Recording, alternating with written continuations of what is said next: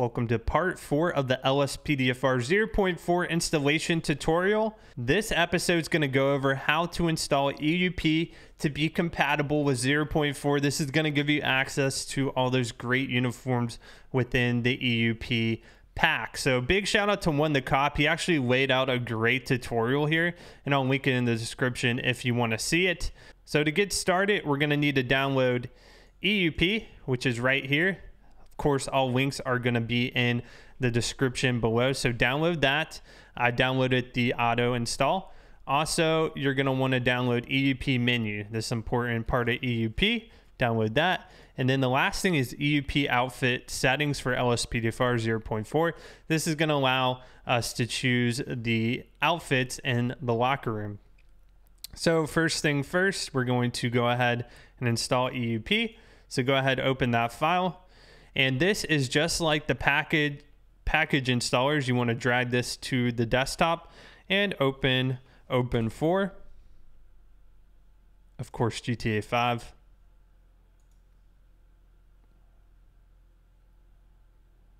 Turn edit mode on. Tools, package installer, find that package, which is right there. And we're going to install it into the mods folder. So wait for that to install. All right, you should get installation succeeded. Next thing we're gonna do is put in the menu. So open the EUP menu, go to the files, plugins. Okay, so this one we can just drag and drop from here. We're in the GTA 5 directory.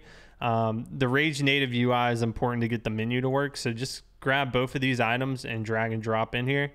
So this will put a plugins folder in here and EUP menu. You need to load this EUP menu up. I'm going to have Rage plugin hook automatically load that up for us. So menus there. Last one we're going to take a look at is EUP settings. So the EUP settings are going to go into GTA 5 LSPDFR datum custom folder and we're gonna just drag and drop into there.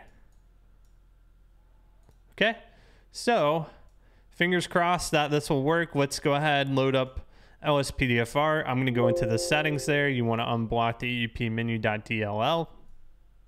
Just hit the gear icon and we're gonna have it load EUP menu by default. Save and launch.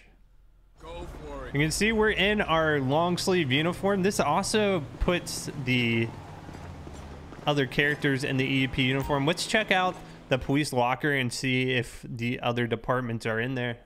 Yep, so you can actually go through each department and change it up with EUP. And this is great because now we can use our custom character with the EUP uniforms. Pretty cool stuff. So super easy tutorial to follow. Like I said, big shout out to One the Cop for writing that tutorial up. If you enjoyed this episode, make sure to subscribe to the channel for future videos, and I'll see you guys on the next part of this tutorial series.